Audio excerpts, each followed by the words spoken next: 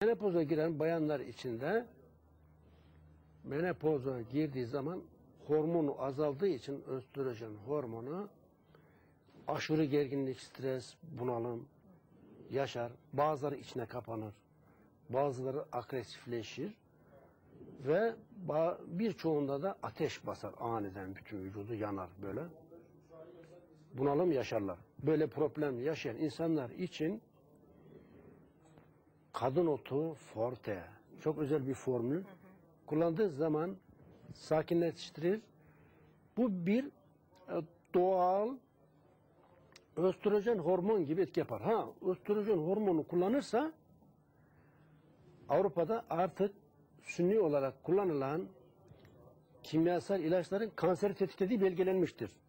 E, Ha, o nedenle- geciktirmek mümkün mü? E, kullanılan bitkisel yollarla. Erken menopoza girmişse evet ama erken menopoza değil de normal zamanda menopoza girmiş o normal ona karışmaya gerek yok. Evet, evet. Fakat bazı bayanlar erken menopoza girir mesela 25 yaşında 30 yaşında erken menopoza Bunların aşırı ilaç kullanıyor. ne oluyor peki genel anlamda bakacak olursak? Bazıları çok yoğun ilaç kullanıyor veya bazıları çok yoğun yemiyor, içmiyor. Cips, jelibon, kek, gofret, efendim, kola, e, hamburger, cheeseburger vesaire vesaire. Bunların hepsi, bu sünni gıdaların hepsi işlenmiş gıda, kimyasal ilaç yutmuş gibidir. Çünkü hepsi kimyasal madde içeriyor. Bütün metabolizmayı bozuyor, hormon dengelerini bozuyor. İşlenmiş gıda kimyasal ilaçtır aynı şekilde. Bir, iki, aşırı kimyasal ilaç kullanmak.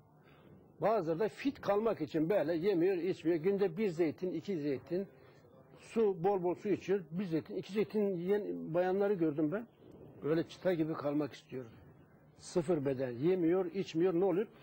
Önce sindirim salgıları azalıyor. Mide, karaciğer, pankreas, ince bağırsak yeterince e, sindirim salgısı asit, baz, tuz salgılamıyor. Yavaş yavaş azalıyor, azalıyor.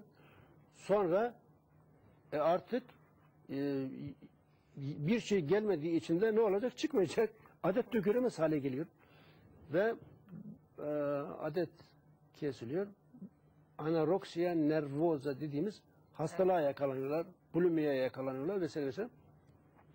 Bu tür rahatsızlığa yakalananların sonu Allah korusun çok tehlikeli. Yüzde onu intihar ediyor. Çok Avrupa'da, Amerika'da çok çok yaygın. Yani yine insanlar mesleğini yapsın. Mesleğe engel değil yani kadın olmak. Bazıları kariyerinde yükselmek için bu tür e, psikolojik bunalıma giriyorlar. Peki böyle bir durumda anoreksiyayı e, önlemek mümkün mü? Yani artık sona gelmiş durumdaysa e, bitkisel yollarla ya da yapılabilecek tetkiklerle Tabii tabii tabii. mi? Ya Frankfurt'ta bir, bir bayan 40 kiloya kadar düşmüş. Yemiyor, içmiyor. Artık yese de istese de yemiyor, içemiyor. Çünkü sindirim organları yeterince enzim salgılayamıyor. Böyle yemeden içmeden kesilmiş. Gitti gidecek böyle dal gibi kalmış. Ailesi her türlü yolu denemiş. Yemiyor, içemiyor. Artık durmuş sindirim salgıları yavaş yavaş. Gitti gidecek derken ben ona dedim problem yok, problem yok hallederiz. İksir verdim. Dedim ki iksir kullanacaksın günde beş defa iki çorba kaşığı. Yavaş yavaş yavaş yavaş. Altı hafta sonra iki kilo aldı sonra aldı aldı derken 52 kiloya çıktı. Yavaş yavaş düzene girdi normala döndü. Yani fit kalayım derken yavaş yavaş öbür tarafa doğru gitme rizikosu çok büyük. Evet. Bu nedenle abartmamak gerekir. Obezite aşırı kilolu olmak tehlikeli olduğu gibi aşırı zayıf olmak da tehlikelidir. Yani makul, normal ölçülerde kalmak gerekir.